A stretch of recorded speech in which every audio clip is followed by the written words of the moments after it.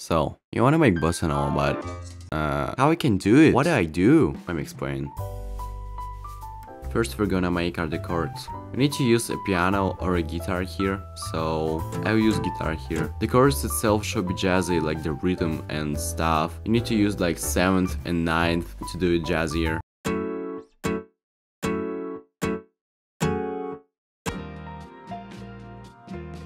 Alright, so next we're adding additional melodies just to fill the mix and I, I guess that's it.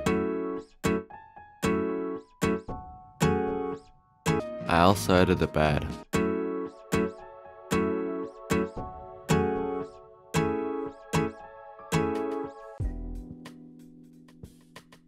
The drums in Bossa Nova are based on this pattern, so we'll change this pattern a little bit so we get more original, and that's it.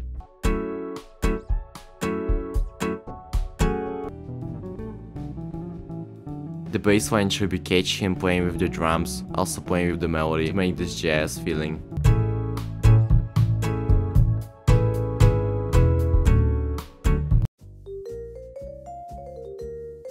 So the bass is pretty much done. Now we can do stuff we want, just maybe adding some effects, adding another melody, just do your stuff, yeah, that's it.